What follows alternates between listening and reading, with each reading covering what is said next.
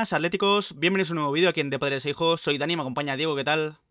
Muy buenas, Dani. Buenas, Flowstar, Chris, ¿cómo estáis? Vamos con la previa del Atlético de Madrid Real Sociedad. Mañana, domingo, en el Metropolitano a las 4 y cuarto, se celebra esta jornada de liga. Y un Atlético Real Sociedad que yo creo que sin dudas es el partidazo de la jornada. Por cómo vienen los dos equipos, vienen en un nivel espectacular.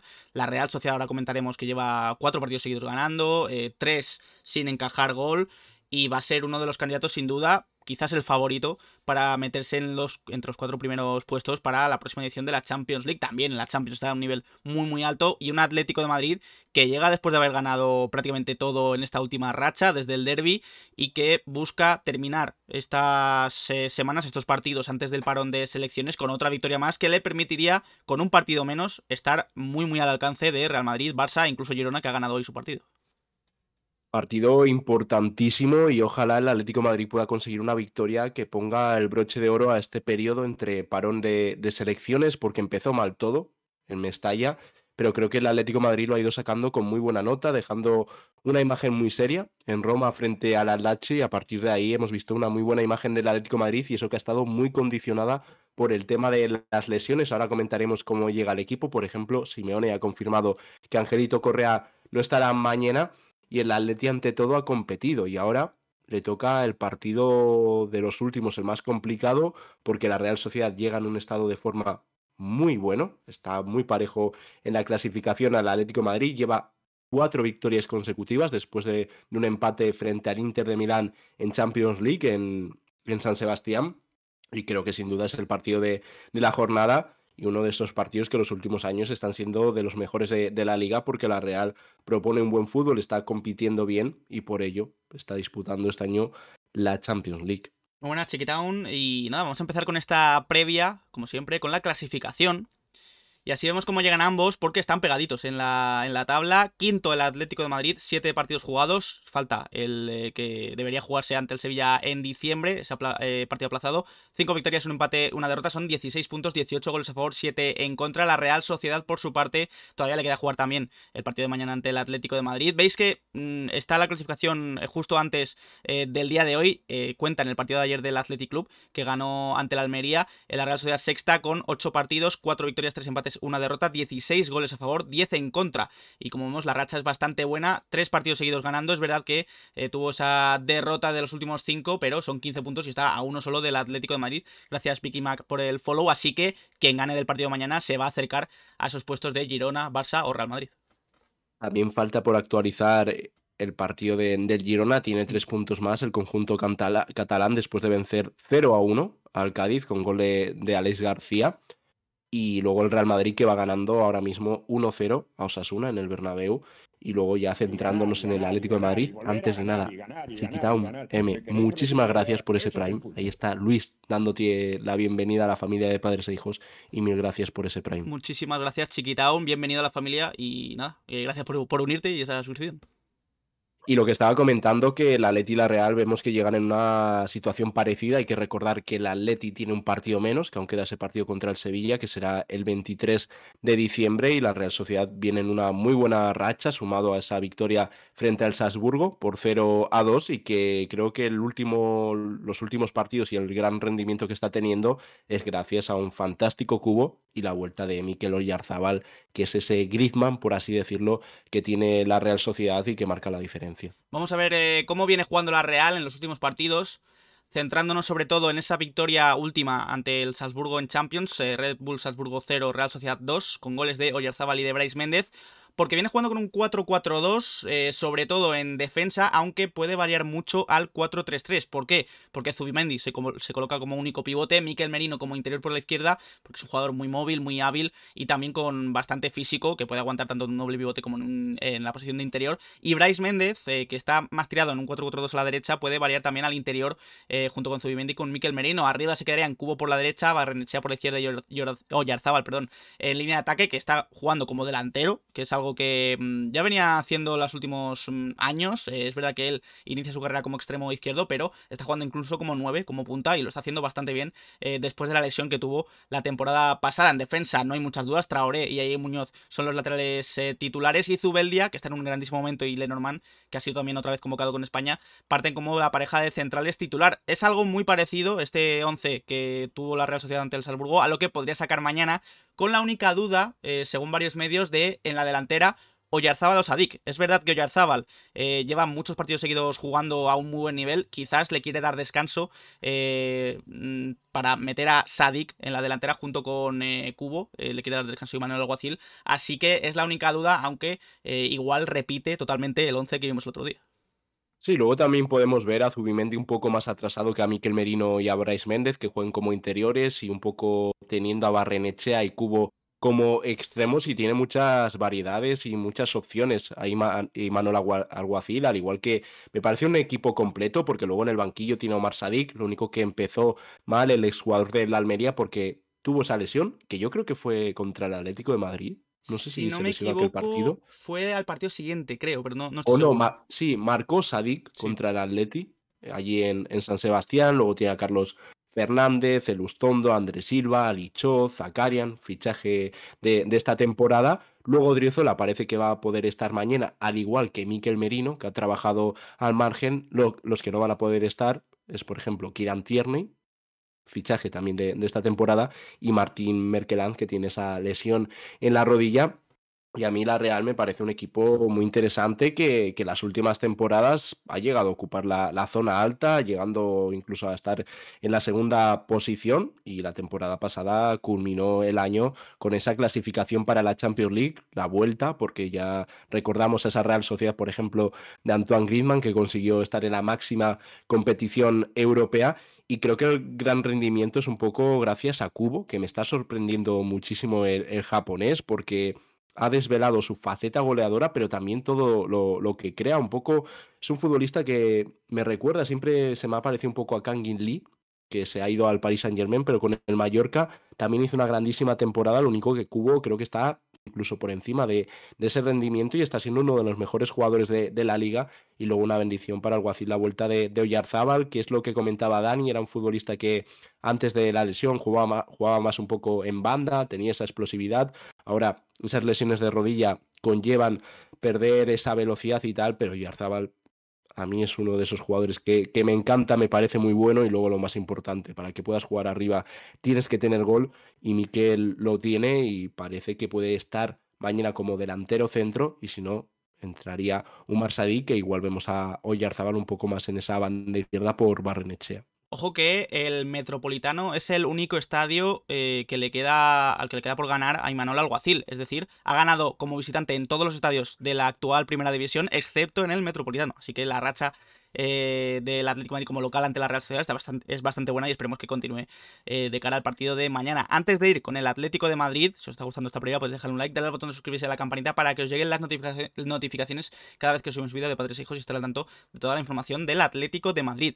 Vamos con el Atleti porque vamos a ver imágenes tanto del entrenamiento de ayer como el de hoy, porque hay varias novedades, varias noticias. La primera, este es el de ayer, en el Metropolitano entrenó el Atlético de Madrid. Savic se reincorporó con el grupo después de varias semanas lesionado. Oblak y Saúl tuvieron trabajo alternativo, aunque ahora veremos que sí que están bien para el partido de mañana. Y Soyunchu entrenó sobre el césped con balón. Por su parte, Correa no entrenó o hizo un trabajo alternativo. Ahora veremos que también me ha confirmado que va a ser baja para el partido de mañana. Además, se sumarían, eh, se sumaría la de Correa a la de Jiménez, Reinildo, Pablo Barrios, Lemar y Memphis Depay. Vamos a ver también imágenes del entrenamiento de hoy, ya sí en el Cerro del Espino, porque como decíamos, Oblak y Saúl es verdad que hicieron trabajo individualizado, pero hoy han entrenado con total normalidad. Savic incluso se ha mantenido con el grupo, así que será una de las principales novedades de cara a la convocatoria para el partido de mañana. Y Correa ha vuelto a no entrenar, así que se confirma esa lesión de Angelito. Siguen siendo bajas Jiménez, Soyunchu, Reinildo, Pablo Barrios, Lemar y Memphis Depay.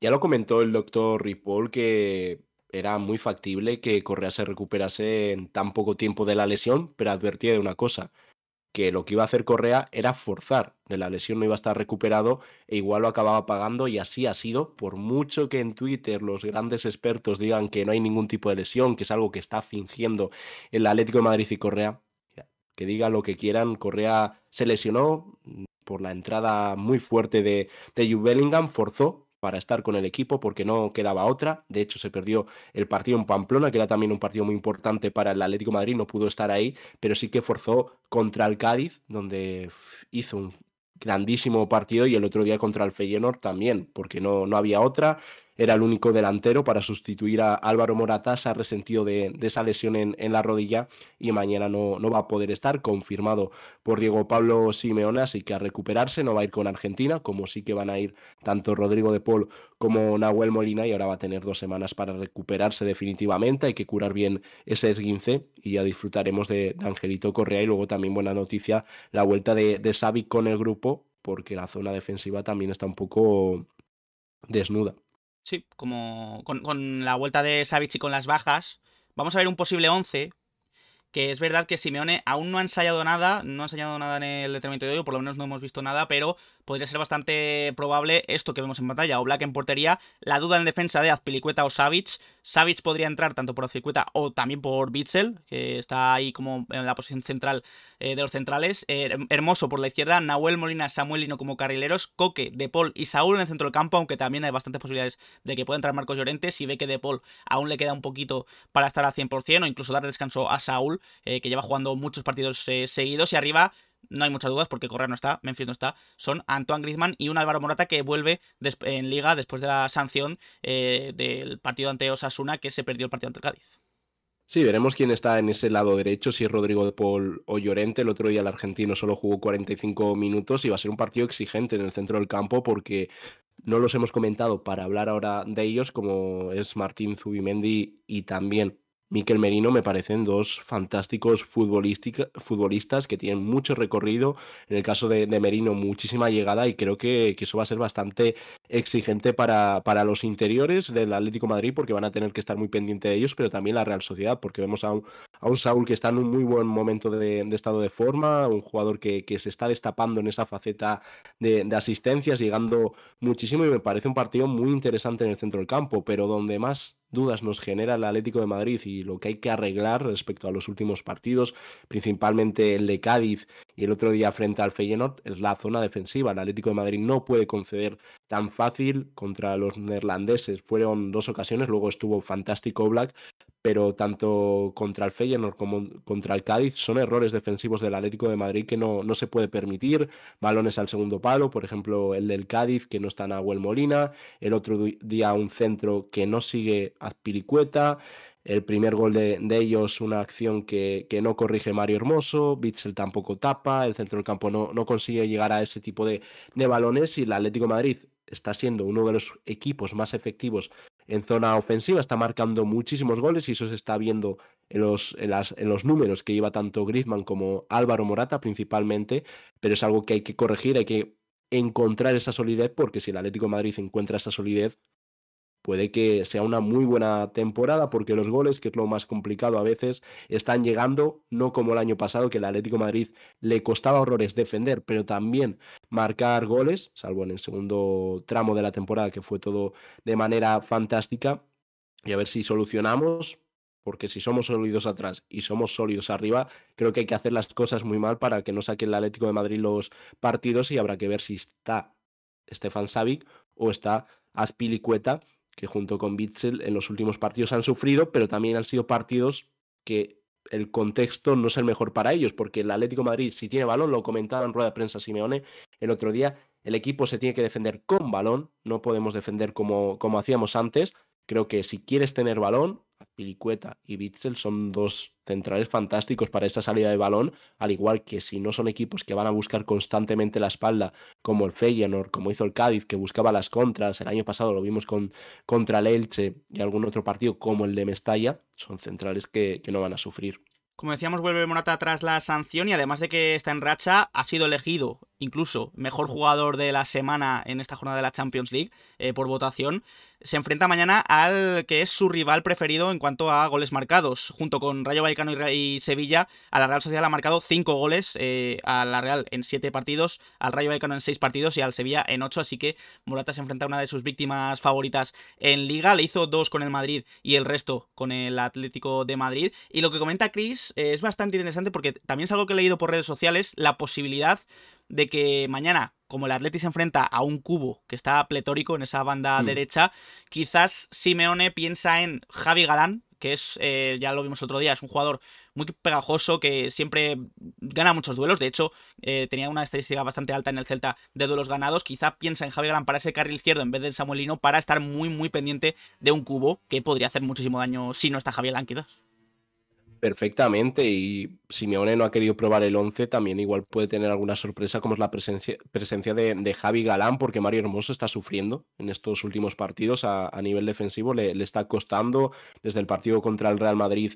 Hemos visto a Mario que nos recuerda un poco más al anterior, con balón sigue siendo importante para este Atleti, pero hemos visto que, que, le ha costado algún marcaje y a lo mejor ayudar a Mario Hermoso con Javi Galán puede ser bueno para, para el equipo, para tapar esa zona izquierda. Samuel Lino estamos viendo que es un jugador con mucho oficio, que está creciendo muchísimo en el equipo, pero sobre todo en defensa, que igual era donde generaba más dudas o donde era un poco una incógnita, pero Samuel Lino se está comportando muy bien en este sistema de, carrileros, lo único que Javi Galán lo comprobamos el otro día en Champions, es un jugador que igual con balón no aportó mucho en el partido, pero hizo lo que necesitaba el equipo, que era un poco aguantar eh, esa banda izquierda, un futbolista que, que es muy pegajoso, que para el marcaje al hombre es idóneo y también, por ejemplo, contra el Cádiz, que vimos a un Javi Galán jugando como interior, muy adelantado, pero ahí detectó Simeone que contra el Cádiz lo que necesitaba era jugadores que fuesen a presionar arriba, con interiores eh, que presionasen mucho, y por eso probó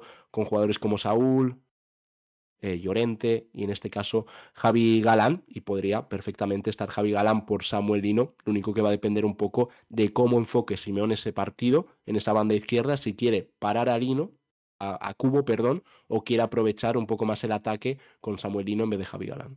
Pues yo creo que lo hemos comentado todo en la pizarra. Podéis dejarnos también en comentarios cómo creéis que saldrá mañana el Atlético Madrid. Si creéis que puede entrar Javi Galán, eh, puede entrar Aspilicueta o Savic, y Llorente por De Paul, por ejemplo, por Saúl. Así que vamos a ver la rueda de prensa de Diego Pablo Simeone. Aquí tenemos ya al Cholo a ver qué tiene, qué tiene en la cabeza de cara al partido de mañana, importantísimo, ante la Real Sociedad. Hola Diego, ¿qué tal? Eh, no sé cuántas ganas tienes de, de, que llegue ya este parón de, de selecciones, si quizá este tramo de, de, partidos se ha hecho especialmente complicado por esas lesiones, por esa fatiga, porque apenas puedes hacer cambios.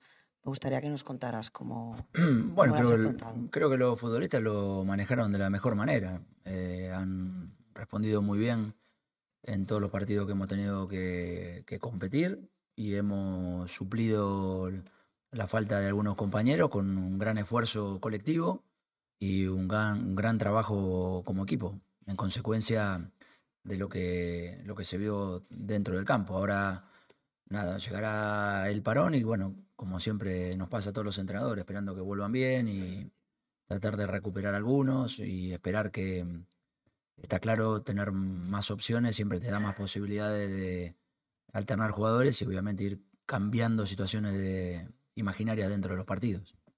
Isaac. Yo como aficionado, los parones de selecciones no me gustan absolutamente nada. Creo que cortan la temporada de los clubes y más si cabe si el Atleti está como está, que está en un muy buen nivel, eh, ganando partidos, cortarle ahora mmm, puede ser incluso perjudicial para la vuelta después de este parón. Pero es verdad que en este caso concreto, con tantos lesionados, con tantos partidos seguidos jugados por el Atleti, quizás viene incluso bien este parón para recuperar a los lesionados, para que los que no van con sus selecciones descansen y quizás veamos más efectivos y un Atleti incluso mejor que el que estamos viendo en los últimos partidos.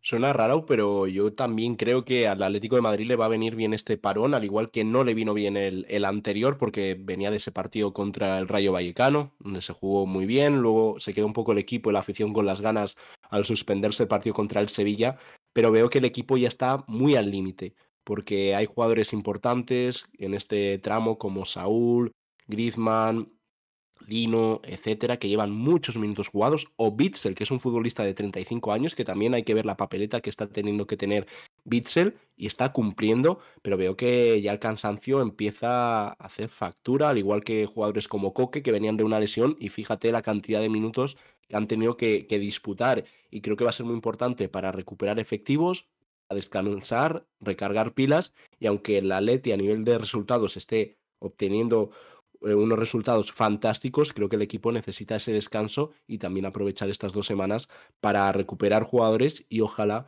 mañana nos den esa última alegría, preparón y ya luego a, ver cómo es hasta, hasta que ya el siguiente parón, ya no sé si es en marzo por ahí, ¿no? Ya tenemos una buena temporada sin, sin parón de selecciones, que ahora viene lo importante, viene también partidos importantes de Champions y luego la liga, hay que llevar, llegar lo mejor posible al parón invernal y a ver qué, qué tal está el Atleti, pero veo necesario este descanso.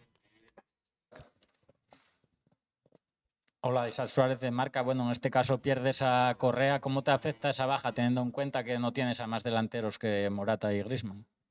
Bueno, ya muchos preguntaban por qué no había jugado Correa contra mm, el Feyenoord. Entendíamos de que venía de un gran esfuerzo, que tenía ese dolor en la rodilla, que obviamente el otro día cuando entró no estaba de la mejor manera.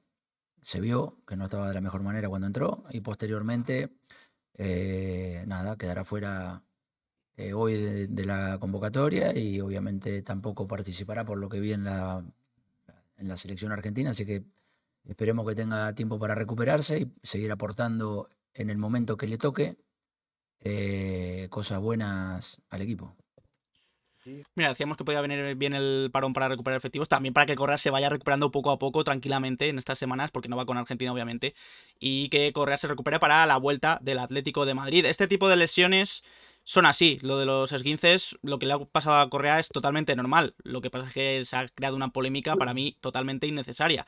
El chico forzó para estar ante el Cádiz, hizo un grandísimo partido con un doblete vital para ganar el partido, pero es verdad que salió renqueante de ese partido. Ante el Feyenoord eh, sí que jugó algunos minutos, pero no fue titular. Lo explica Simone ahora perfectamente porque estaba renqueante todavía de esa rodilla y lo mejor que puede hacer eh, este fin de semana es descansar para recuperar y eso, lo de la polémica me parece increíble que se haya formado la que se ha formado cuando es un esguince leve, que es totalmente normal lo que le ha pasado a Correa.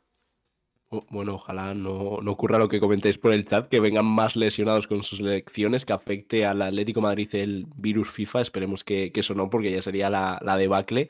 Y luego también preguntáis si De Paul va convocado. Sí, va convocado, al igual que, que Nahuel Molina. Veremos si dosifican un poco sus minutos. Esperemos que, que Scaloni se, se comporte, porque creo que son dos jugadores que necesitan también un poco de descanso, pero en el otro parón jugaron absolutamente todo.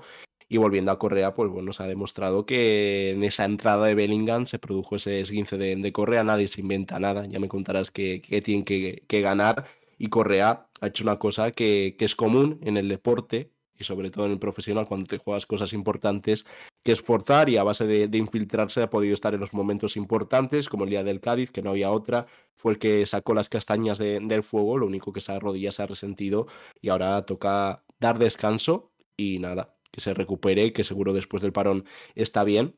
Y lo dicho, a recuperar efectivos y ojalá en las elecciones dosifiquen sus minutos también. Por ejemplo, en el caso de España, veo bien que, que, no vaya Hermoso, que no vayan otros futbolistas, porque creo que, que cuanto menos jueguen en este periodo es mejor. Y nada, recuperar efectivos como sea. Pedro, cuando Hola Diego, eh, Pedro Fiana de la cadena SER.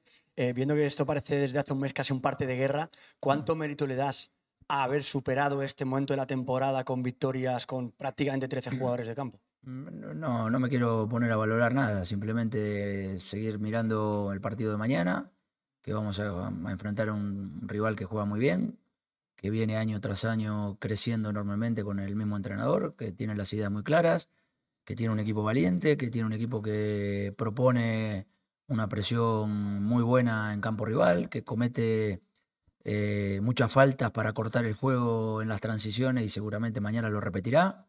Y a partir de ahí tienen un trabajo colectivo que, que es de apreciar, porque da gusto ver jugar a la Real Sociedad. Hola Diego, Está Simeone sobre su opinión de la Real Sociedad, pero mm, le preguntaban por el mérito que tiene Simeone en estos casos de tantas lesiones. Yo creo que un buen entrenador demuestra lo que es en situaciones límite y cuando tiene tantos lesionados tiene que improvisar, entre comillas, en los partidos. Lo vimos, por ejemplo, ante la Lazio, que jugó Pablo Barrios en el pivote, se lesionó, luego entró Bitzel, también se medio lesionó y, tuvo que jugar Saúl. Ahí es casi situación de emergencia, pero Simeone ha sabido llevar esta situación lo mejor posible para ganar todos los partidos, que ganar todos estos partidos seguidos y con tantos lesionados no es nada fácil. Yo creo que aquí se demuestra lo gran entrenador que es Simeone. Es muy complicado y lo que ha hecho el Atlético Madrid es un ejercicio de, supervivencia y creo que a todos si nos dicen que se pierde en Mestalla y luego conseguimos los resultados que hemos conseguido hasta el momento, nos damos con un canto en los dientes porque después de, de Mestalla ya los pronósticos no eran muy positivos, pero creo que se está sacando con muy buena nota. Lo único que queda llegar aún a la orilla que se puede hacer mañana y una victoria contra la Real Sociedad ya creo que es el broche de oro y sería de una nota altísima. Los partidos del Atlético Madrid, sobre todo a nivel de resultados, aunque se han hecho grandes partidos, pero claro, los esfuerzos están empezando a, pasar factura y mañana queda eso. Si ganas a la Real Sociedad, aparte de, ser un rival directo, creo que es acabar este periodo entre parones de una manera fantástica. ¿Qué tal? Muy buenas. Eh, eh, hablando de eso, de parte de bajas, de, este tramo de temporada, no sé qué te preocupa o, qué, en qué pones más la vista, en que los que no están puedan volver bien, se puedan reincorporar lo antes posible, o que los que están haciendo ese esfuerzo no les pase factura a, corto plazo, ¿no? El, aguantar tanto. Eh, Mira, lo que pensamos de acá mañana es tratar de, de, formar el mejor equipo que creamos para llevar el partido donde creemos que le podemos hacer daño. Y en consecuencia, tenemos los chicos que tenemos y eh, exprimiremos cada opción que nos da cada uno de ellos, entendiendo el partido que vemos mañana. Es que casi hay que poner dos velitas ah, para que no se lesione nadie. En este parón de selecciones, mañana incluso se podría lesionar a alguien. Esperemos que no, ante la Real Sociedad. De, los, de las selecciones del primer equipo, creo que va Griezmann con Francia, Nahuel y Depol con Argentina y Morata con España. Creo que Oblak también irá con Eslovenia. No tengo muchas dudas. Savic, no lo sé, la verdad no he visto nada. Eh, venía de lesión, bueno, se ha recuperado hoy eh, prácticamente o ayer. No sé si irá con Montenegro, pero esos son los del primer equipo. Así que por favor, que no jueguen mucho con sus lecciones, que no se lesionen y que vengan a tope eh, después del parón, porque vaya tela también con los virus FIFA. Y luego para Oblak es un momento importante, porque ahora sí que tiene posibilidades de clasificar a su país para un torneo importante como es la Eurocopa, algo que no ha conseguido. Ojalá lo consiga Jan Oblak, porque creo que se lo merece para que su carrera sea prácticamente perfecta y aún así creo que vienen cosas importantes para él en un futuro pero es una lista corta igual de los que van con la selección, lo que creo que es una muy buena noticia porque el otro día comentábamos un poco esa prelista de Luis de la Fuente y a ver, para el futbolista obviamente lo mejor es ir con la selección porque creo que es lo máximo para un jugador, pero pensando y siendo un poco egoístas para el Atlético de Madrid, lo mejor es que vayan la menor cantidad de, jugadores em, con sus selecciones para que estén entrenando, para que no haya ese riesgo de lesiones, que bueno, que el riesgo de lesiones puede estar en un entrenamiento, pero es menos probable y creo que puede ser un buen parón para el Atleti y eso, poner una velita para que no venga nadie lesionado ni tocado y que los que están tocados se acaban recuperando y por fin veamos esa plantilla larga que se suponía que tenía el Atlético Madrid, pero que aún no se ha visto. Hola, mister Javier de Diego Radio Nacional de España. En alguna ocasión has dicho que llamar, llama, o sea, ganar llama a ganar. Em, lleváis una racha muy buena en casa. Lleváis 12 mm. victorias consecutivas en Liga, sumada con la Champions son 13 victorias consecutivas. ¿Tú crees que eso es importante eh, para los jugadores? ¿Eso influye en la cabeza de los jugadores a la hora de afrontar partidos? Bueno, sí, siempre es importante tener eh, una buena situación de partido porque te genera más tranquilidad y seguir mejorando en el día a día. Creo que la Real Sociedad está en la misma situación que nosotros porque viene, si no me equivoco, de cuatro o cinco partidos seguidos ganando, así que a ellos les pasará lo mismo que a nosotros. Es que estamos viendo un gran nivel de los de arriba de la liga este año, porque el Madrid no falla, salvo en el derby, es el único partido que ha perdido. El Barça creo que ha empatado uno o dos partidos nada más, el Girona está como está, el Atlético está ganando muchísimos partidos, la Real Sociedad, el Atlético Madrid ahora, son muchos equipos que están ganando muchos partidos seguidos obviamente yo creo que esto no va a durar toda la temporada. Mm, me imagino que los tres de arriba serán los que llevan siendo los tres de arriba los últimos años. Atleti, Real Madrid y Fútbol Club Barcelona. Esperemos que por ese orden, que el Atleti sea el primero. Pero es verdad que estamos viendo una subida de nivel de los de arriba y que el Atlético de Madrid, para no descolgarse, tiene que ganar todos los partidos. Es verdad que mañana quizás algunos piensen que después de tantas victorias seguidas, un empate tampoco es malo ante un rival como la Real Sociedad. Pero claro, eh, el Madrid sigue ganando, el Barça sigue ganando, el Girona incluso, el Athletic, así que eh, no te puedes descolgar del resto. No, claro, mañana por eso es un partido tan importante y lo que le comentan a Simeone es cierto. El ganar creo que te da una confianza extra y mismamente la Real Sociedad el año pasado tuvo un tramo que lo ganaba todo. Y entras en esa dinámica que se complican los partidos, pero lo sacas todo adelante y eso es importantísimo. El Atleti en la segunda vuelta entras en una dinámica muy positiva en la que solo sirve ganar y los resultados se sacan adelante, lo único que llegan dos equipos con la misma dinámica, muy positiva por parte del Atlético Madrid, pero también por parte de la Real Sociedad, tres victorias consecutivas en Liga, más la de Champions ya, ya son cuatro, y el Atleti, pues más de, lo mismo. Así que esperemos que, que siga esa racha, porque el Atleti puede conseguir ese récord que ostenta aún el Calderón pero que poco a poco se está acercando y si mañana es la decimotercera en liga consecutiva, el Calderón puede estar ahí cerquita. Hola, entrenador, ¿qué tal? Luis Castro, Castilla-La Mancha Media. Eh, no voy a ser muy original, pero quería comentarle eh, si te preocupa, eh, si habéis analizado el, tema de bajas de, este tiempo, si se analiza, si es lo normal, si es más, y también si te molesta que esas bajas también se cuestionen, que cuestionemos la prensa o que desde el entorno se cuestione, este está lesionado, este demás, si, si eso te afecta. No, afectar no, nos, nos preocupa, nos ocupa y estamos todas las partes que nos ocupa eh, juntándonos para intentar mejorar todo este tipo de situaciones, porque de eso se trata la vida. Dificultades, soluciones. Y a las soluciones, trabajo y obviamente poner la mejor voluntad cada una de las partes para ir mejorando esto que nos ha pasado últimamente.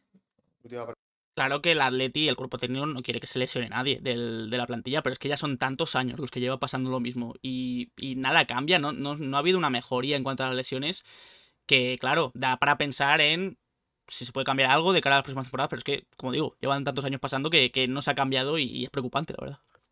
Yo creo que es un cúmulo de cosas, porque es algo que está pasando en todos los equipos. Lo único que en el Atlético Madrid es por demás y lo, lo que comenta Dani, que ya son muchas temporadas con el mismo problema. Se puede juntar una mala preparación física o unos métodos que igual no se ajustan a, la exigencia que tiene el calendario actual, porque no paran, llevan unas cuantas temporadas que luego llega el verano y hay competición. Es, es para los futbolistas muy complicado de, llevar. Luego también que creo que se han fichado jugadores con unos antecedentes muy negativos. Memphis, fíjate, los antecedentes de lesiones. Soyunchu, mismamente. Luego también fichar futbolistas con una edad ya considerable. Creo que también es más fácil lesionarse con, con esa edad que cuando un futbolista tiene 20 años, está empezando en el fútbol y creo que es un cúmulo de cosas. Lo único que es algo que tienes que solucionar porque en las lesiones, ahora estamos comentando un tramo en el que el Atleti ha conseguido sacar todo adelante, pero va a haber momentos en los que no sea todo tan bonito y haya problemas. Y el competir en varias competiciones, en tres, lo que busca el Atleti, Liga, Champions y Copa del Rey, con plantillas tan mermadas por las lesiones, es complicado, por eso hay que buscar una solución. Y eso es lo que creo que va a acercar al Atleti a competir, porque sí, pasan otros equipos, vemos al Barcelona, al Madrid, tienen lesiones y fuera de Europa, vamos, fuera de, España también, pero el Atleti ya es algo que empieza a preocupar y ojalá se encuentre la solución, pero el problema que no creo que sea una cosa en concreto y sí que sea el cúmulo de, de varios factores. Pregunta, Jano. Sí, viste, le hablabas de la Real Sociedad, un equipo que está creciendo año tras año. ¿Le consideras, más allá de la importancia del partido mañana, un rival directo para Champions a la Real Sociedad esta temporada? Bueno, yo creo que ya lo demuestra eh, todos estos últimos años, ¿no? Creo que ha ido, si no me equivoco, en estos dos últimos años, hasta primero en alguna parte de la temporada, segundo en una gran parte de la temporada, no me acuerdo si es de esta que pasó o de la otra, pero sí convirtiendo todo el juego que tienen en un proceso que va evolucionando cada vez más. Y está claro, como siempre lo venimos diciendo, los equipos crecen y la Real Sociedad ya está ahí para pelear por los lugares de Champions. Vamos por finalizar la rueda de prensa. Muchas gracias, Diego. Muchas pues está ahí la rueda de prensa de Simeone. La convocatoria Unai creo que no ha salido aún oficial. O sea, creo que el Atleti no ha publicado oficialmente la convocatoria. Sí que ha dicho Simeone que Correa no va a estar. Vuelve seguramente Savic, eh, que ya está recuperado. Y eso, la convocatoria no está. Y, nada, con esa última pregunta cerraba la rueda de prensa Simeone. Es verdad que la Real está teniendo mucha continuidad los últimos años. Siempre está en Europa League. El año pasado yo incluso la Champions League. Tiene pinta de que este año puede volver a hacerlo. Así que es una Real que ya lleva muchos años sin Manuel Alguacil, que el trabajo se está notando y la verdad es que su, juego y su, mm, sus victorias, sus puntos que está consiguiendo en la liga son de mucho mérito. Así que yo creo que sí, la Real Sociedad va a estar ahí peleando. No sé si para ser tercero, segundo o primero, pero sí por lo menos para estar en Champions League. Sí, es un trabajo de varios años y que está dando sus frutos Ojalá sea otro año en el que Alguacil no conozca lo que es la victoria en el Metropolitano, porque antes hemos comentado un poco esos datos, pero sí, la Real Sociedad es un equipazo, creo que se ha reforzado muy bien en este verano, partiendo ya de una base, pero creo que ha fichado a lo, a lo que necesitaba y me parece uno de los mejores partidos que se pueden ver en la liga. Ya hay antecedentes cercanos, ese partido en pretemporada, lo único que, que ahí todavía no había empezado ningún equipo a carburar. Luego también hubo el partido frente al Sevilla en esa gira por, por los Estados Unidos, aunque el de la Real no sé si fue en, México. Sí, el de la Real fue en, Monterrey. México y el de Sevilla fue en San Francisco, si no me equivoco. En San Francisco, eso es. Pero bueno, lo que sea, que, nos vimos en, en, pretemporada las caras, lo único que en pretemporada pocas conclusiones se pueden sacar.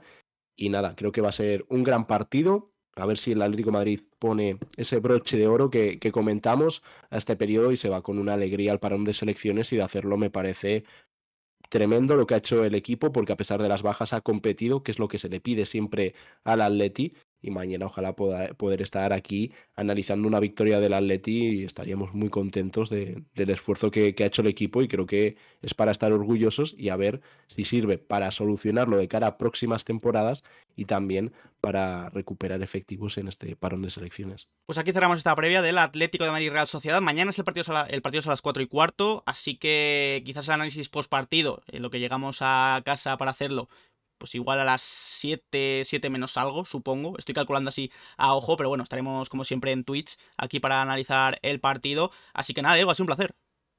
Igualmente, Dani, ya mañana estaremos por aquí en directo, lo que comenta, sobre las 7, 7 y algo, más o menos. Ya iremos avisando a qué hora nos metemos, pero a eso de, las 7 estaremos por aquí en directo y nada, nos vemos mañana.